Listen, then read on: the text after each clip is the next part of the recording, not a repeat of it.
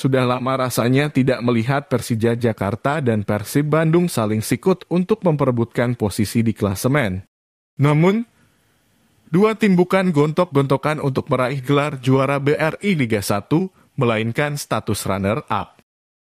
Persija Jakarta terdepan dalam perburuan peringkat kedua, sementara Persib berharap mendapatkan keajaiban. Sejak beberapa pekan lalu, kampiun BRI Liga 1 telah disegel PSM Makassar. Dalam persaingan untuk merebut hak runner-up, Persija Jakarta seperti menyalip Persib pada dua tikungan terakhir. Ya, tepat dalam pekan ke-33, tim berjulukan Macan Kemayoran itu berhasil menggeser Persib untuk mengamankan peringkat kedua di bawah juara PSM Makassar. Apa yang terjadi? Persib bukan hanya lengah, tapi babak belur di pekan ke-33. Armada Luis Mila itu keok atas Persita Tangerang 4 gol tanpa balas pada 9 April 2023. Adapun Persija Jakarta mampu mencuri poin penuh atas tuan rumah Dewa United lewat kemenangan 1-0 lewat gol Hansamu Yamadi detik-detik terakhir pertandingan pada 10 April 2023. Sebelum pekan ke-33, Persib unggul dua angka dari Persija. Setelah partai kedua terakhir di musim ini, Macan Kemayoran berbalik unggul satu poin atas Mark Klok dan kawan-kawan.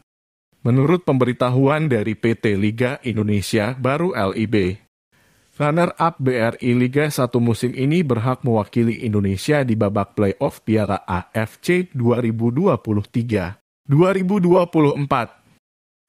2024 dalam pekan terakhir BRI Liga 1, Persija akan bertindak sebagai tuan rumah untuk melawan PSS Sleman pada 15 April 2023. Dan Persib menjamu Persikabo 1973 juga pada hari yang sama.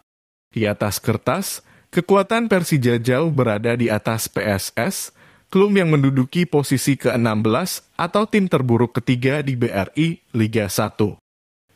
Chan Kayoran jelas dimulkan untuk meraih kemenangan. Sekarang kami berada di urutan kedua. Ini situasi yang bagus. Sekarang kami akan memainkan partai terakhir di akhir dan kami dapat mempertahankan posisi kedua, kata pelatih Persija, Thomas Doll.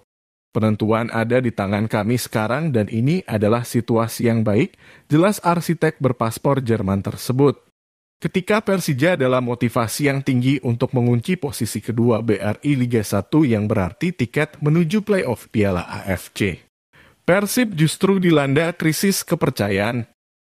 Saya merasa pemain tidak percaya kepada saya karena hasil dan sikap mereka seperti ini setelah melawan Persita. Saya tidak mengerti dan ini harus dianalisis ketika musim berakhir, ungkap nakoda Persib, Luis Milla. Persikabo 1973 bukan lawan yang mudah buat Persib mengingat kesebelasan. Ini kemungkinan masih akan bertanding di Stadion Pakansari, Kabupaten Bogor. Stadion Pakansari adalah kandang dari Persikabo 1973.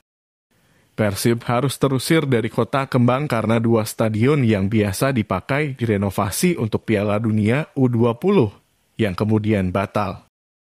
Sekarang kami punya waktu untuk bisa mempersiapkan diri demi menutup musim dengan kemenangan melawan Persikabo 1973. Setelah itu kami akan melakukan analisis besar mengenai situasinya, ujar Luis Milla.